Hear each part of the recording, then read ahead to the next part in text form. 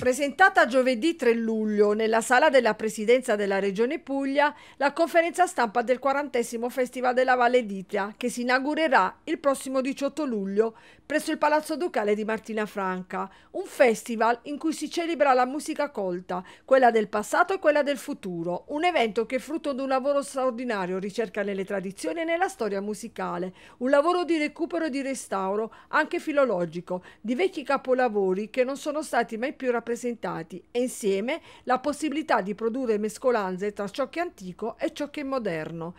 Non è un evento, ha detto il presidente della regione Puglia Nicchi Vendola, del folklore locale, ma un festival di respiro cosmopolita, un appuntamento che attrae da tutto il mondo un pubblico specializzato che viene a godere di quelle notti in cui musica e bellezza si fondono magicamente. La quarantesima edizione del Festival della Valle d'Ite, ha spiegato l'assessore Godelli, rappresenta davvero una festa speciale, nel cuore dell'estate, nel cuore della Puglia turistica, in una città tra le più belle d'Italia, diamo vita ad una connessione tra arte, cultura e territorio veramente eccellente.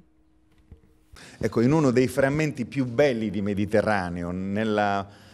meraviglia di, della Valle d'Itria e nell'incanto di Martina Franca, un festival che è un richiamo internazionale in cui si celebra la musica colta,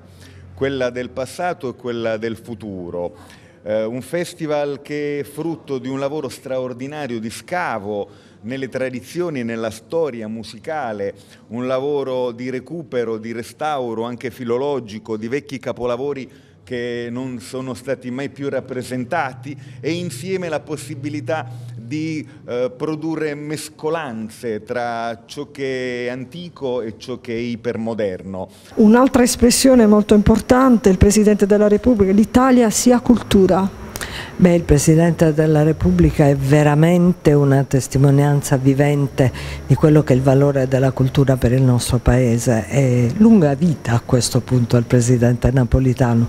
c'è qualcuno molto volgare che lo invita a ritirarsi a festeggiare i compleanni con i propri nipotini, io invece lo invito a continuare a festeggiare i compleanni con la rappresentanza del nostro paese. Sì, io guardo al futuro perché il festival non è Franco Ponzi,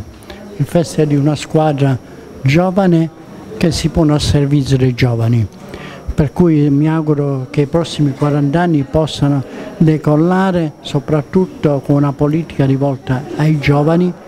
per promuovere artisti in tutto il mondo. E questa è la missione del festival, la prima. La seconda, quella di dire a tutto il mondo che al sud dell'Italia, nel mezzogiorno d'Italia esiste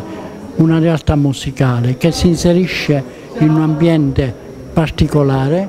e che si inserisce anche in una storia ricca di musica e ricca di tradizioni.